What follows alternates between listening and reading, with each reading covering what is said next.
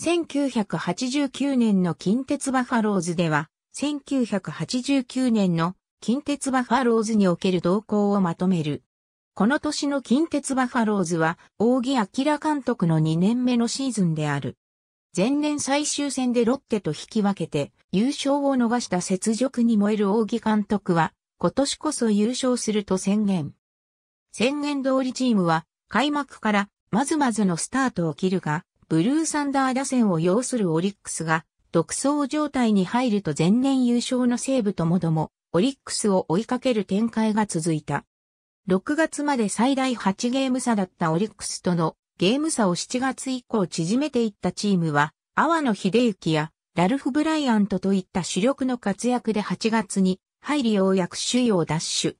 しかし9月に入ると、西武が優勝戦線に参戦し、3球団のどちらかが抜け出せないまま10月12日を迎える。第1試合は西武が勝利すると思われたが、ブライアントが各体現をリリーフした渡辺久信から決勝ソロ。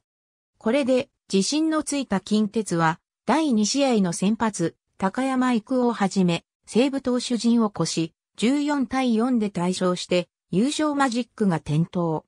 一方オリックスは翌13日に最下位確定のロッテと対戦するも、まさかの逆転負けで、マジック1となり、最後は、藤井寺の大英戦に勝って1980年、以来9年ぶり3度目のリーグ優勝を達成。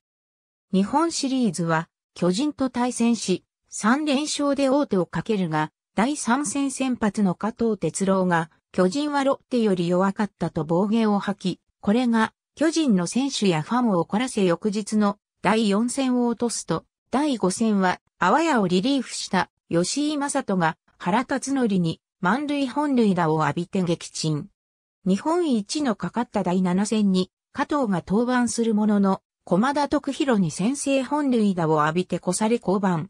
加藤の後を受けた投手陣は巨人打線にめった打ちされ、終盤追い上げるものの5対8で敗戦。